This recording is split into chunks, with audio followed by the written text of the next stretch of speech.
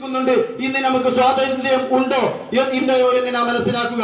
ബഹുമാനപ്പെട്ട റസൂലുള്ളാഹി സ്വല്ലല്ലാഹു അലൈഹി വസല്ലമ തങ്ങൾ മക്കയിൽ നിന്ന് ഗത്യന്തരമില്ലാതെ സ്വന്തം നാട്ടിൽ നിന്ന് മദീനയിലേക്ക് പോകാൻ പോകാൻ ഉത്തരവ് വന്നപ്പോൾ നിർബന്ധിത ഘട്ടം വന്നപ്പോൾ ജനിച്ചു വീണ മണ്ണിൽ നിന്ന് മണ്ണിനെ മണ്ണിലേക്ക് തിരിഞ്ഞു നോക്കിക്കൊണ്ട് പ്രവാചകൻ സല്ലല്ലാഹു അലൈഹി വസല്ലമ തങ്ങൾ പറയുകയുണ്ടായി മണ്ണേ ഈ മണ്ണിൽ നിന്ന് എനിക്ക് പോകാൻ ആഗ്രഹമുണ്ടായിട്ടല്ല.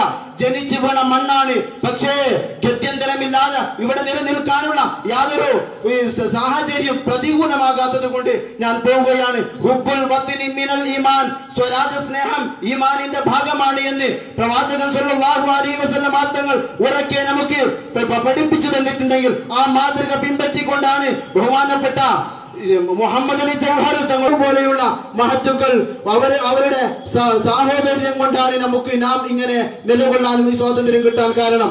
സ്വാതന്ത്ര്യ സമരത്തിന് വേണ്ടി അതിന്റെ ആവശ്യങ്ങൾക്ക് വേണ്ടി ഓരോരുത്തരുടെയും ഓരോ സഹായ ധനങ്ങൾക്ക് വേണ്ടി അപേക്ഷിച്ചപ്പോൾ ഉമ്മയോട് ഉമ്മയോട് പോയിക്കൊണ്ട് ചോദിച്ചപ്പോൾ തന്റെ ഉമ്മ പറയുകയാണ് സമ്പത്തായി ഇന്ത്യയുടെ സ്വാതന്ത്ര്യത്തിന് വേണ്ടി പിൽക്കാലത്ത് ഈ വസിക്കുന്ന ആൾക്കാർക്ക് സ്വാതന്ത്ര്യം. എന്റെ കയ്യിൽ പണമായി തരാനോ ഒന്നുമില്ല. മറിച്ച് എന്റെ രണ്ട് ആൺമക്കളെ നിങ്ങൾക്ക് ഞാൻ തരാം. അവരെ കൊണ്ടുപോയിക്കൊണ്ട് അവർക്ക് എന്താണോ ചെയ്യാൻ പറ്റുക. അവരിൽ നിന്ന് നിങ്ങൾ സ്വാതന്ത്ര്യം. അവരെത്രമാത്രം പ്രയാസപ്പെടുത്താൻ